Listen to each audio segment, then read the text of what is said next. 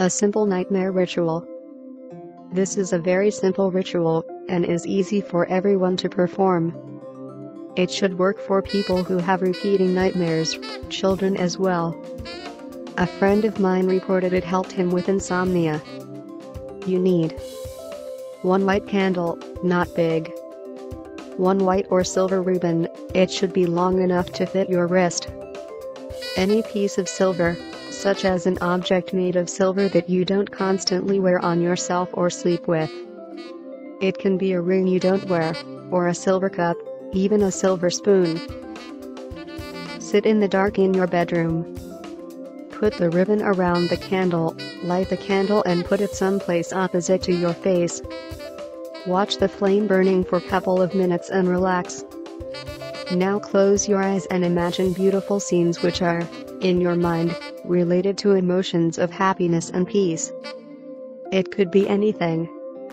It's quite an individual thing. Meditate for as long as you wish. When you feel relaxed and able to focus on one single thing, approach the window, holding the burning candle in your hands and looking at the moon. If you can't see it from your window, or any other window at your place, or not even from the yard, just keep on standing there and then just look at the sky. Say these words. The moon is my friend. Who's listening to me? And bringing the beauty into my dreams. The stars are here. Forever to shine. Bringing serenity and peace of mind. When I close my eyes, they won't be gone. Keeping me safe till the dawn.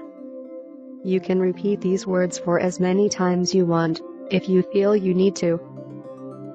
After this, extinguish the flame, if the candle hasn't burned down.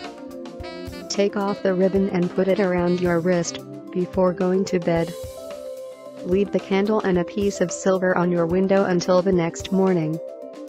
In the morning, remove both of them, and the silver ribbon from your wrist. You can repeat this ritual one to three times a week, always using a new candle and a new ribbon. However, collect the ribbons. When you feel your nightmares are gone and you have gotten rid of them.